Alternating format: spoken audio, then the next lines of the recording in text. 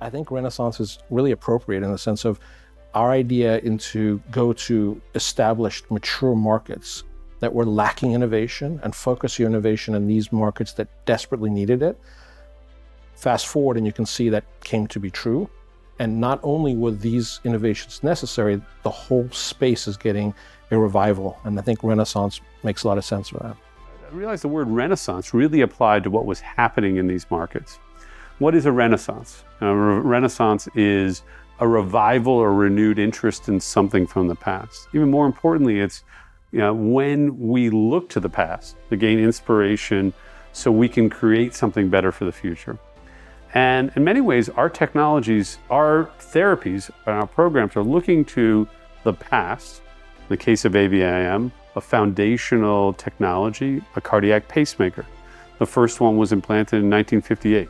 So this is a technology that is 60 plus years old in terms of clinical use.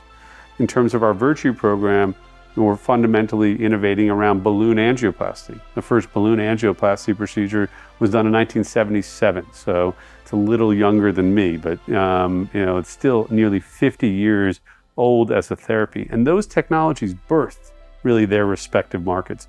And while most of those therapies, original pacemakers and original balloon angioplasty devices, have been iterated and, have evolved over time, what we're currently seeing is that true renaissance where we're seeing dramatic changes, the ability to take pacing therapy, for example, and treat an entirely new disease state. We're in an evolutionary time in cardiovascular medicine where new technologies are becoming available to us and more importantly to our patients but we're exploring on new ways to treat old problems. The innovation that's now being applied to existing technologies is exciting and it's it's broadening an opportunity to many patients who previously were told they did not have therapeutic options or alternatives.